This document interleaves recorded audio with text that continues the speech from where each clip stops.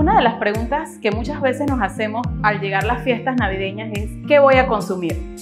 Y les voy a dar un secreto. Puedes comer de todo, pero controlando nuestras cantidades. Comer moderadamente y no a altas horas de la noche es la clave del éxito para no ganar libritas de más en esta fiesta.